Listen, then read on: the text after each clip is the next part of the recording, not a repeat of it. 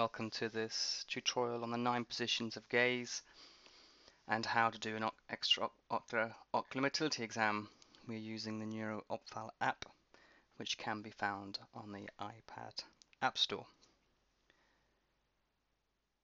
There are nine cardinal positions of gaze and six cardinal positions that correspond to each of the extraocular muscles.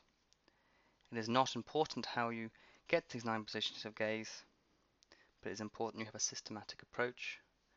Some people prefer to do a star, star pattern starting at the primary position, but today we will be using a H configuration.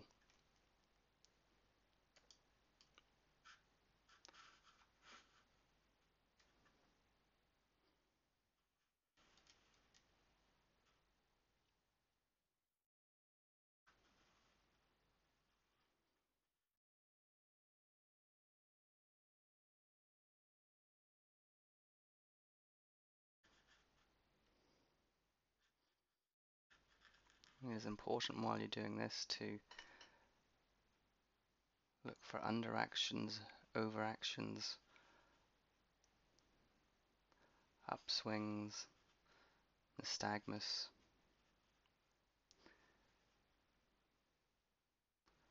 This patient has been set to have no abnormalities in his ocular motility. But further tutorials shall show the full range.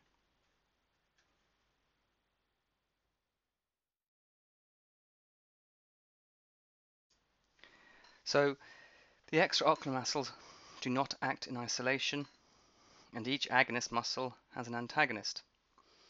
So if we take the right lateral, lateral rectus as an example,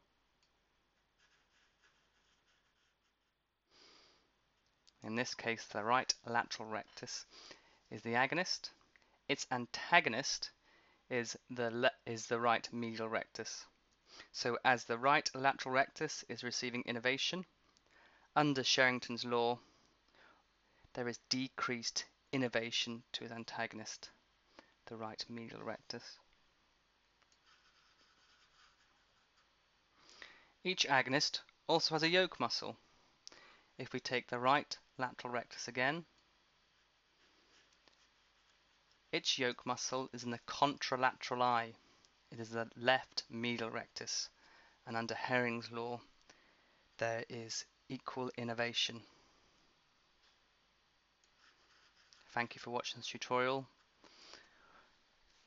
If you have any suggestions or requests, please subscribe and send them to me via the NeuroOphthal YouTube channel and the full interactive app is available on the iPad App Store.